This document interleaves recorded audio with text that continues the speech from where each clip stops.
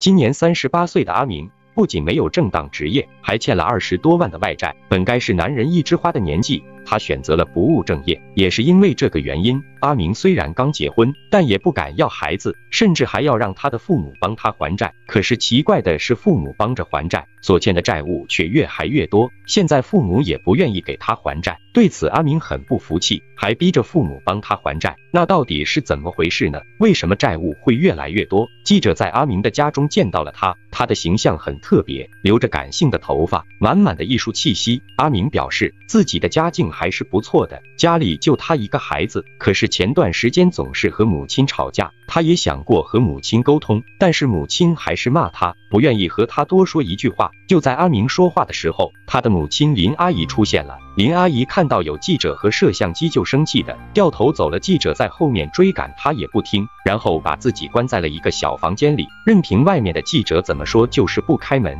这个时候，阿明的父亲张阿伯出现了，看到有记者在，也是跑进了瓢泼大雨中，自己身上湿透了，也不面对记者。面对记者的多次询问，最后还是妥协了。他告诉记者，阿明自己刷信用卡欠了二十多万，自己根本没能力还，现在还把责任怪在父母头上。这二十万分债务到底是怎么来的呢？随后记者又返回阿明家，面对记者的询问，阿明一下子说不出话。想了一会，就说是自己相亲花掉的。要是相亲花了二十万，那结婚岂不是花的更多？怎样想也不是实话。面对记者的质疑，阿明表示自己前前后后相亲就几十次，加上自己是大龄剩男，肯定要多花一点钱请吃饭的。听到阿明的辩解，张阿伯说阿明是在说谎，他每次相亲都是家里给钱，他年纪大，成天不务正业，家里知道他没收入，所以每次相亲都会给他不少钱。既然父母都给自己出。了那么多钱，为什么阿明还欠了那么多信用卡呢？看到记者一直在询问，阿明知道自己也瞒不下去，就承认自己平时不务正业，没有正经工作，也没有收入来源，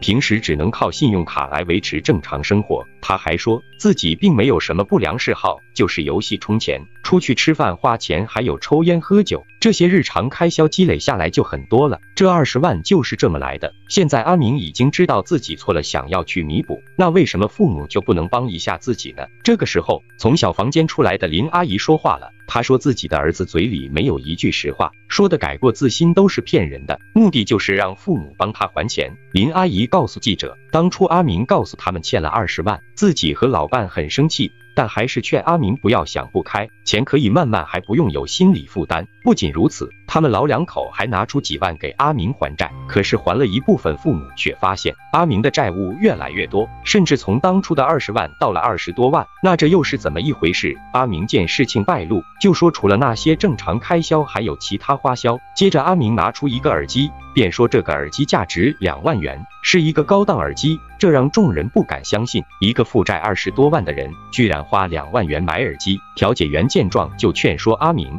消费要靠自己的能力，超过自己能力范围，对家人和自己都是负担。这个时候，张阿伯说自己的儿子非但不挣钱，每天还和他们老两口要钱，要是不给，就开始逼迫家人给他还债，甚至还用暴力威胁他们两个。张阿伯的话让众人大吃一惊，一个正值中年的男人，不仅不对自己的家庭负责，反而在逼着父母要钱，这种行为已经够可恶了，还联系电视台控告自己的父母。这就是典型的白眼狼。在调解员的调解下，阿明认识到自己的错误，当场表示以后会用自己的行动挣钱养家，也会自己还债，不连累父母。他还说以后会孝敬父母，不会再一直索取了。希望阿明真的知道错了，以后可以做到独立自主的生活。也希望他的父母可以接纳他的儿子。我们每个人都会遇到困难，遇到困难的时候。父母肯定会帮助我们，但是他们的帮助会让我们更加有依靠。但是那种依靠并不是一直都在。我们在困难中学会的是独立，自己成长，为父母撑起一片天才，是我们作为子女该做的事情。